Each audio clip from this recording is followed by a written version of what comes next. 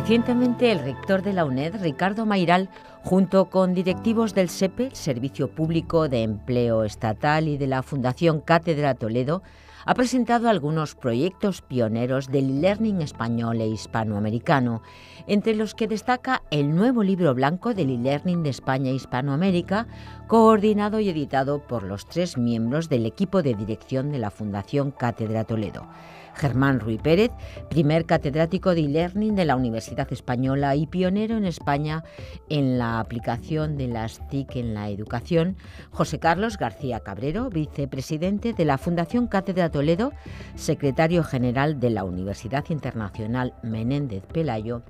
y Pedro J. Gómez Vargas, presidente del Comité Asesor de la Fundación Cátedra Toledo, consejero delegado de la empresa Diseño de Recursos Educativos. Este libro blanco incluye artículos muy novedosos sobre los últimos avances del e-learning elaborados por representantes de grandes empresas y de pymes de formación españolas e hispanoamericanas, que reafirman el alto nivel que tiene el e-learning hispanohablante. Hoy nos acompaña Germán Ruy Pérez, catedrático de Lingüística de la UNED, para presentarnos el nuevo libro blanco del e-learning de España e Hispanoamérica. Va a entrevistar a Gerardo Gutiérrez, director general del SEPE, el Servicio Público de Empleo Estatal, y Sergio Nieves, CEO de Mantia, empresa de e-learning y presidente de la recién creada Agencia Española de Pymes de Formación e e-learning con los que va a profundizar, entre otras cuestiones, en la formación online y learning, en su proyección y en la importancia que ha adquirido y que se aceleró durante la pandemia con proyectos estrella como el que puso en marcha el SEPE. Digitalízate, una iniciativa que no solo garantizó la atención a la educación y la formación, sino que superó las expectativas. Profesor Rui Pérez, bienvenido. Hoy tenemos el placer de entrevistar a Gerardo Gutiérrez, director general del SEPE, Servicio Público de Empleo Estatal, y también a Sergio Nieves, que es el director gerente de una pyme de formación, Mantia, y a la vez presidente de la Agencia Española de Pymes de Formación y Learning un saludo a nuestros contertulios de hoy. Eh, muchas gracias por el tiempo disponible eh, para esta entrevista. Hola, es un placer poder estar en esta entrevista. Hola Germán, un placer poder estar con vosotros eh, atendiéndoos. Eh, bueno, en primer lugar, nos gustaría que el director general del SEPE, Gerardo Gutiérrez, muy brevemente nos presente a los oyentes qué es el SEPE. Bueno, pues tras agradecer la oportunidad de, este espacio para poder trasladar eh, bueno, pues lo que es el Servicio Público de Empleo Estatal y el trabajo que hacemos, eh, el Servicio Público de Empleo Estatal actualmente como organismo autónomo fundamentalmente lo que hace por un lado es eh, gestionar las prestaciones por desempleo y por otro lado también coordinar las políticas activas de empleo en el ámbito de todo el Sistema Nacional de Empleo, ¿eh? para que en el ámbito de las 17 comunidades autónomas, que son los que tienen la, la, competencia ejecutiva eh, de, ejecución de, las políticas de empleo, lo hagan bajo un mismo paraguas. ¿eh? Nosotros, como Servicio Público de Empleo Estatal, pues hay que recordar, por ejemplo, que durante el año 2000 en, cuando el inicio de la COVID, pues el, gracias al personal del Servicio Público de Empleo Estatal se abonaron más de 35.000 millones de euros a más de 8 millones de personas. Lo pongo un poco como referencia y al tiempo también como reconocimiento al, personal de, este organismo. Muy bien, muchas gracias. Está claro que el SEPE es, es un gran organismo de un gran potencial dentro de la administración y que además, aparte de, del, presupuesto extraordinario con la eh, durante la pandemia, pues realmente los números eh, y los millones de euros que, tiene que eh, ejecutar el SEPE anualmente son realmente impactantes. Estamos viendo aquí unas estadísticas de 28.000 millones o 29.000 millones anualmente. Muy bien, muchas gracias al director general del SEPE. pasamos a, ahora a continuación a hablar con el otro entrevistado hoy Sergio Nieves, director gerente de Mantia y a la vez presidente de la recién creada uh, AEPIMEL. Y con ello, pues también nos gustaría que nos comentara muy brevemente qué es eh, AEPIMEL. Bueno, hola Germán. Eh, lo primero, evidentemente, agradecer eh, que contarais con nosotros en esta, en esta entrevista y para nosotros es un placer pues, poder compartir esta tertulia con, con Gerardo. ¿no? Eh, con el cual bueno ya nos conocemos desde hace mucho tiempo y hemos colaborado en, otras muchas cosas. Eh, bueno, pues eh, AEPIMEL nace como una agencia híbrida entre el sector público y privado. Es una agencia española que recoge las pymes de formación y el e-learning. Y bueno, lo que queremos hacer es bueno, poner en, en, marcha proyectos disruptivos que contribuyan al prestigio de la formación presencial y no, y no presencial, trazar un puente de comunicación entre el sector público y las tiendas de formación, que es tan necesario. Y bueno, en este ámbito somos un proyecto pionero, puesto que no competimos con ninguna otra organización que se dedique a esto, ¿no? Muy bien, muchas gracias, Sergio. Y a nosotros lo que más nos interesa también desde la UNED pues es el, posicionamiento, eh, sobre todo lo que es la formación online, formación semipresencial por parte de unos y otros. En el caso del SEPE sí queremos agradecer que se ha eh, implicado muy directamente en la publicación coordinada por la UNED en el nuevo libro blanco del e-learning. Y en ese aspecto eh, sí nos gustaría escuchar por parte del director general del SEPE, Gerardo Gutiérrez, eh, cuál es eh, la, opinión del SEPE acerca de todo lo relacionado con el e-learning, formación online, educación virtual, educación por Internet. Bueno, es que como tiene tantas denominaciones que las prefiero nombrar para que nuestros oyentes sepan de qué, de qué estamos hablando realmente. Bien, pues efectivamente, eh, hace unos días arrancó este interesante, importante proyecto eh, entre, entre la UNED y el Sitio Público de Empleo Estatal y también impulsado por la Asociación de Formación y Learning, cuyo, cuyo director gente es Sergio, efectivamente aprovecho también para, para saludarlo, ya hace tiempo que, nos conocemos y trabajamos también en proyectos, en distintos proyectos. Eh, la, formación y learning, desde luego, desde hace ya más de una década, eh, es, una de las posibilidades importantes y alternativas y oportunidades que las personas tienen para poder acceder a la formación de forma más rápida, más flexible y sin condicionamiento de horarios. Desde luego, a partir del COVID, eh, esto se ha acelerado. Una, una de las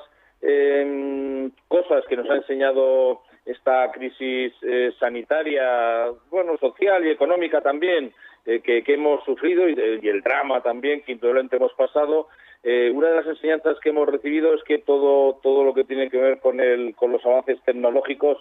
es, es, una buena herramienta ya la que nos ha permitido y nos permite mantenernos en contacto con el mundo real en cualquiera de los casos.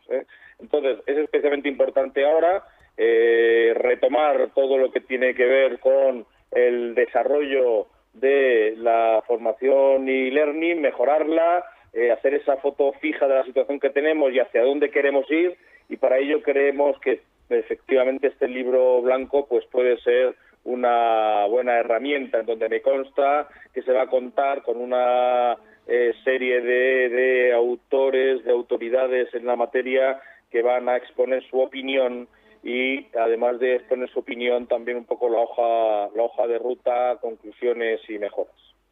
Muy bien, muchísimas gracias al Gerardo Gutiérrez, director general del SEPE, y también nos gustaría escuchar la opinión de, de Sergio Nieves como presidente de AEPIMEL. Bueno, en este caso, eh, el libro blanco del e-learning pues es, un proyecto que viene eh,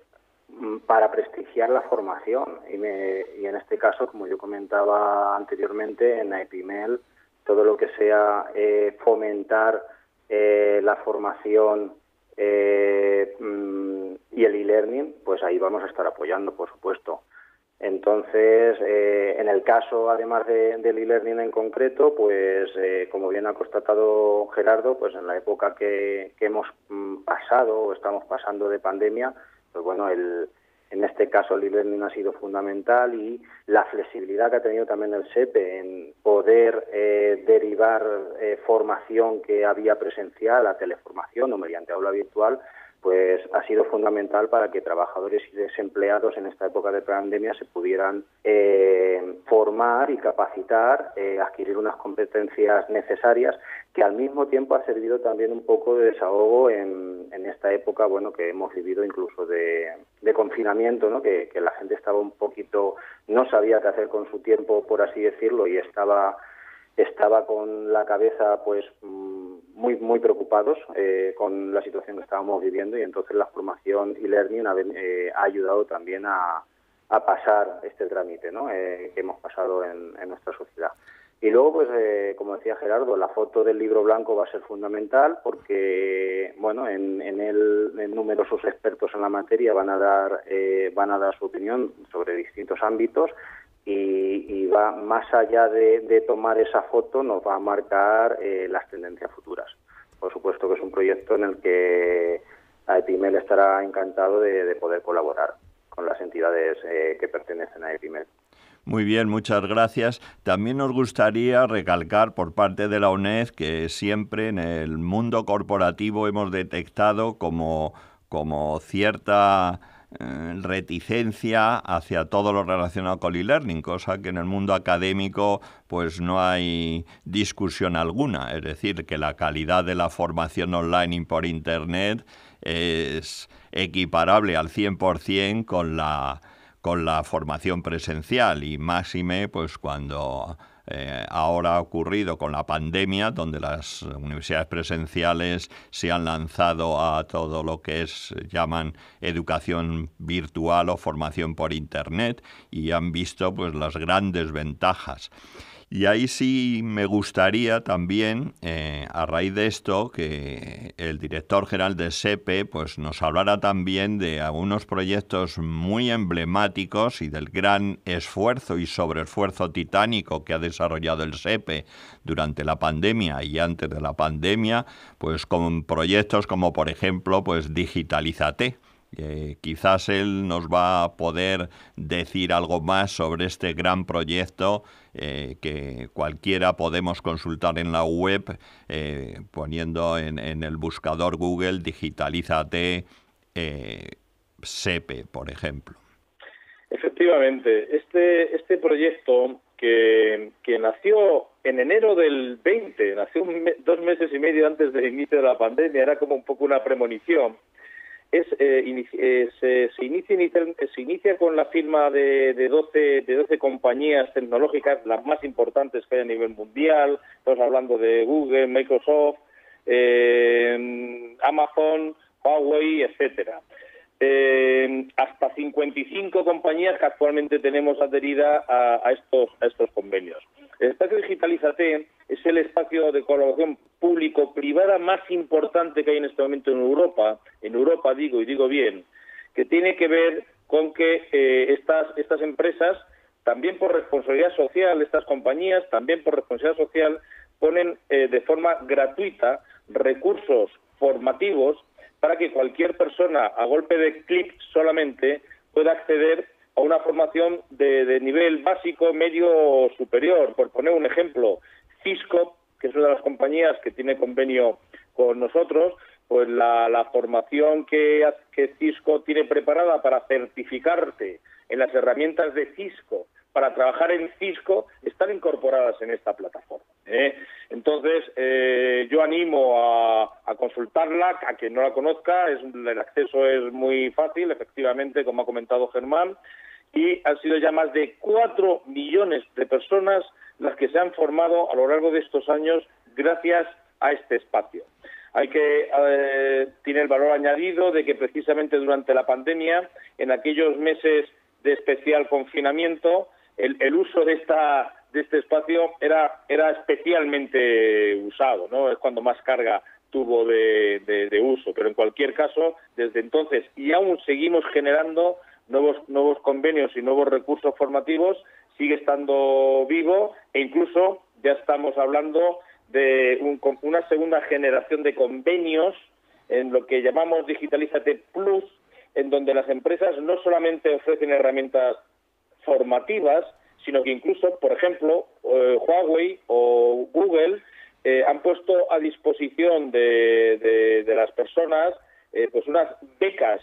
para poder acceder a formación certificada en cada una de, estas, de estas importantes empresas. Entonces es un proyecto que ha venido para quedarse, que estamos desarrollando y que indudablemente también está siendo una buena práctica y ya lo es, está declarada buena práctica inspiradora en la red de servicios públicos de empleo de la Unión Europea, muy importante. La presentamos y los 27 países, los 27 servicios eh, de empleo de la Unión Europea lo han declarado práctica inspiradora. Es una buena práctica de colaboración público-privada para la formación en competencias digitales eh, de forma online.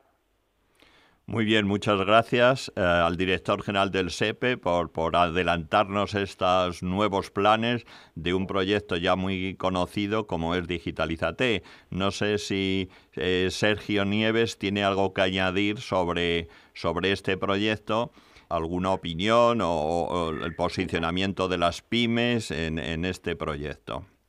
Bueno, más allá de que ha sido evidentemente un proyecto, como bien dice Gerardo, inspirador y en el que eh, se han podido formar a muchas personas en, esta época tan convulsa que hemos podido que, hemos vivido. Eh, bueno pues es un es un ejemplo y un, un ejemplo a seguir no y a, a seguir difundiendo eh, a, a, continuar a continuar con, con estas labores que se han comenzado en este proyecto. Muy bien muchas gracias. Y yo quería aquí un poquito enlazar con la referencia de, de esa síntesis del del eh, sector público y del sector privado, porque también a Epimel, donde está la UNED representando al sector público, pues también es pretendemos que también sea alguna referencia pronto de lo que es la, colaboración público-privada, porque eh, se habla mucho desde la universidad de transferencia del conocimiento al, al sector privado, eh, a las empresas, pero en realidad pues muchas veces parece que estamos hablando eh, de mezclar el agua con el aceite, que es muy difícil mezclarlo. Yo creo que aquí en Digitalízate, que se ha convertido para nosotros en referencia eh, obligada de, cómo puede colaborar el sector público y el sector privado, pero también en AEPIMEL eh, pretendemos ser algo similar, es decir, a otro nivel y también con con iniciativas proactivas donde eh, hay pymes de, referencia y muy conocidas en el sector asociativo que están ya implicadas como DRED, Formación, Mantia, Grupo García Ibáñez y por eso no sé si eh, Sergio como presidente de AEPIMEL tiene algo que añadir al respecto. Bueno, la colaboración público-privada es fundamental. Como bien has dicho, eh, muchas veces la transferencia de conocimiento entre la universidad y el mundo empresarial, pues eh, está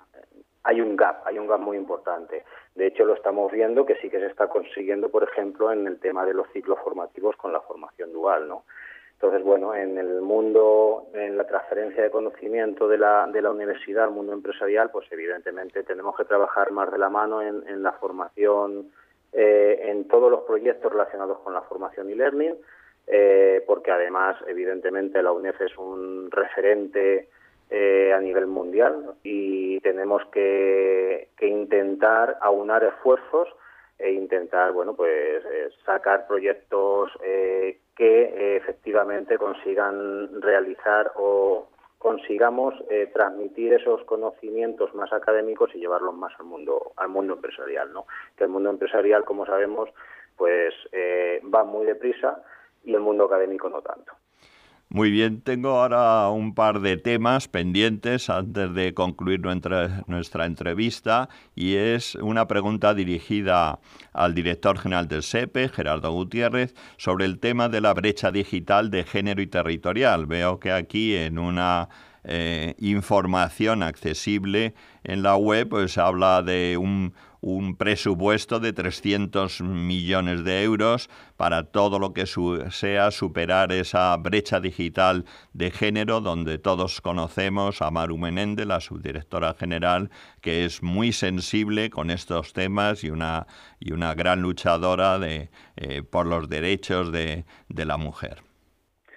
Bueno, pues efectivamente, hemos tenido la oportunidad ahora de contar que además de de tener comprometidas con la Comisión de la mano del Plan de Recuperación, Transformación y Resiliencia, de tener que comprometidas determinadas reformas, una de ellas tiene que ver con, con, las, con la ley de empleo, las políticas de empleo y demás, que, tengamos la oportunidad de tener fondos como nunca habíamos tenido antes para poder invertir en programas, en proyectos en los que eh, precisamente mm, hayamos podido, podido centrar el, objetivo en, también en el ámbito del reto demográfico, de la, em, de la brecha, de, la, de, esa triple brecha que hay, ¿no? La brecha de género, la brecha territorial y la brecha de, conocimientos, ¿no? Eh, tenemos algunos proyectos muy importantes ligados a la adquisición de competencias digitales, por ejemplo, eh, para las mujeres en el medio rural. Eh, de la mano del programa de fomento de empleo agrario que, el Servicio Público de Empleo Estatal ejecuta en ocho comunidades autónomas, en 26 provincias, damos la posibilidad de, además de eh, ofrecer, eh, bueno, pues planes de empleo para, para la, mejora y dar oportunidades de empleo también y de rentas a, las, a, las, a las personas del medio rural y en particular a las mujeres del medio rural Además, a estas eh, tenemos ya desde antes del verano, se están ejecutando planes formativos para iniciarles en competencias digitales. Está siendo un programa eh, especial que nos, ofrece una satisfacción especial, que está funcionando eh, muy bien, en el que los testimonios que estamos teniendo de las mujeres que están teniendo muchas de ellas por primera vez la oportunidad de acercarse a, las competencias digitales y a los medios tecnológicos,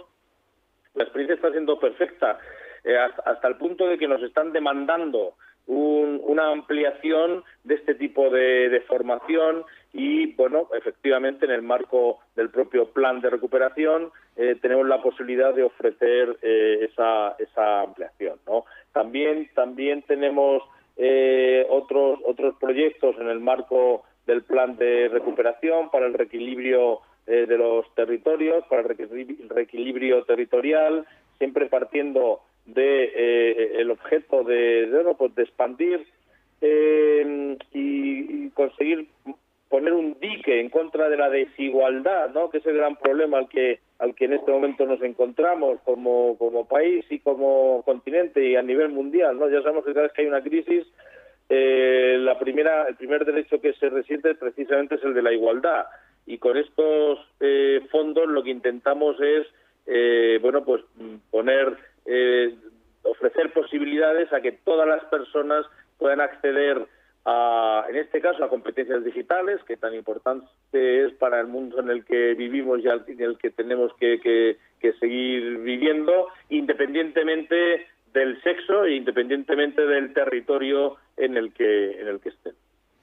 Muy bien, muchas gracias a Gerardo Gutiérrez, director general del SEPE. También me querría eh, escuchar la opinión de las pymes eh, respecto a lo que últimamente en los medios de comunicación se repite constantemente y es la, la falta, o sea, los problemas que encuentran las empresas tecnológicas dedicadas al e-learning eh, en, también en particular, para encontrar personal cualificado en, temas de digitalización y nuevas tecnologías. No sé si, si a lo mejor eh, Sergio Nieves, eh, no solamente como director gerente de Mantia, sino también de, de presidente de la de AEPIMEL eh, podría añadir algo, su percepción o opinión al respecto. Sí, claro, por supuesto, Germán. Eh, a mí me parece que en este caso los proyectos que hablaba Gerardo, por ejemplo, el de mm, eh, mujeres en el medio rural, me parece pues un proyecto muy acertado. ¿Por qué? Porque es cierto que luchamos contra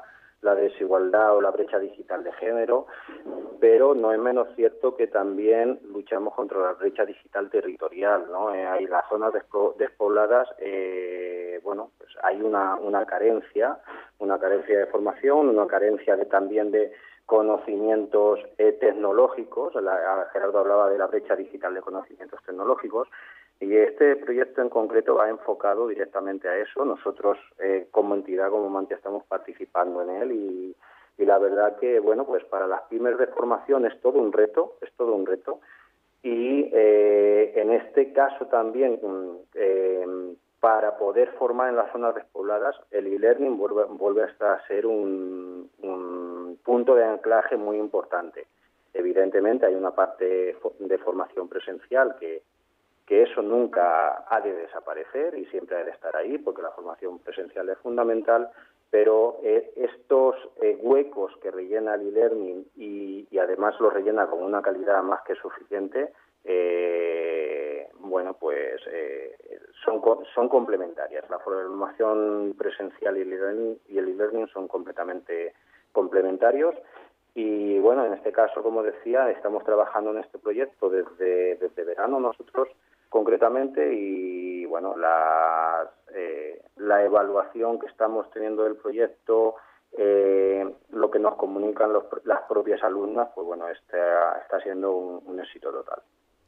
muy bien, muchas gracias Sergio. Yo hoy de todas formas eh, no quería terminar la entrevista con abordando uno de los temas que, que, ya hemos apuntado y es por el tema de, la calidad y de aumentar, como ha comentado Sergio, eh, de aumentar el prestigio que del e-learning en el ámbito corporativo. Y sí quería eh, comentar pues el, el, paso que ha dado hacia adelante el SEPE y la UNED en, el sentido de intentar eh, poner en marcha una certificación pública de la calidad del e-learning corporativo. Eh, creo que es una gran necesidad, pero eh, por parte de la UNED, porque no consideramos la UNED como universidad pública de mayor tamaño en, en, España, más de 200.000 estudiantes y que tiene un grado alto de capilarización, que llegamos hasta los lugares más extremos eh, socialmente y también geográficamente, pues también eh, nos gustaría un poco que, que, el director general del SEPE nos comentara algo sobre, sobre esta iniciativa acerca de, de tener una certificación pública eh, de la calidad del e-learning corporativo. Bien, eh, el día de la presentación del libro blanco de e-learning, por cierto, no hemos remachado que además de España también, también de Hispanoamérica, muy importante, eh, también tuvimos la oportunidad de, de comentar que se iba a empezar a trabajar en algo que nos parece importante, que es la acreditación de las competencias, el, trabajar en un documento eh, que puede ser físico o virtual, seguramente será virtual, que pueda acreditar eh, los eh, bueno pues los conocimientos, las competencias o la calidad efectivamente en el ámbito de la formación y learning, ¿no? Es, es mm, sería un paso adicional y más estando también la UNED detrás poder aprovechar esa esa oportunidad, ¿no? Eh, pues con eso el conocimiento académico que también tiene la UNED en este, en este ámbito y que nos pudiera servir desde lo público para potenciar eh, una, una certificación, una acreditación de que lo que se está haciendo se está haciendo bien, que es evaluable y de que si en un momento dado hay que corregir algo porque no cumple los estándares de calidad, pues se ha de corregir. Esto da mayor transparencia, mayor visibilidad, mayor seguridad también a las personas que en un momento dado deciden eh, pues usar de alguna de las plataformas que puedan ofrecer la formación e-learning. Muy bien, no sé si Sergio Nieves tiene algo que añadir al respecto. Sí, para mí, eh, bueno, pues para Epimel, para las pymes a las cuales eh, representamos, pues consideramos que, que, la creación de este certificado es una buenísima noticia. Es una, las pymes lo vemos como, como una necesidad, ¿no? El disponer de, de una certificación o de eh, que valide o que o que establezca la calidad de esos contenidos formativos en e-learning y porque como decía Gerardo pues es un modelo de eh, transmite transparencia y seguridad pero no solo en este caso a las personas a los alumnos sino también a las propias pymes de formación que nos dedicamos a, eh, a realizar y desarrollar contenidos e-learning con lo cual es una magnífica noticia para, el sector. Muy bien, pues nada, eh, yo creo que eh, solo falta agradeceros a los dos, al director general del SEPE, Gerardo Gutiérrez, y a Sergio Nieves, eh, director gerente de Mantia y presidente de, de pues el, el, placer que hemos tenido de haber conversado hoy con ellos y también recordar pues que que todos estamos implicados en ese nuevo libro blanco del e-learning de España e Hispanoamérica, como muy acertadamente nos ha hecho recordar el director general del SEPE, donde además, eh, por cierto, eh, vamos a contar con personas expertas como la especialista venezolana Elena del Valle Mejía y un grupo de mujeres, porque también nosotros somos muy sensibles a todo lo que sea la, brecha digital de género y aquí pues va a haber unas contribuciones eh, muy importantes y, prioritarias por parte de mujeres. Pues sin más eh, que decir hoy. No sé si tienen algo que añadir, tanto el director general del SEPE como, como Sergio Neves, presidente de Epimel, al respecto, y si no, pues ya concluiríamos nuestra conversación de hoy. Nada, simplemente agradecer eh, la posibilidad de haber podido estar conversando con vosotros y más eh, sabiendo, como sabéis, que fui alumno de la UNED que es algo que, quería dejar constancia también un espacio en el que es la Universidad Nacional de Educación a Distancia la que está eh, promoviendo. Por mi parte, pues reiterar el agradecimiento a la UNED y, como siempre, un placer compartir una tertulia con, con Gerardo. Muy bien, muchas gracias.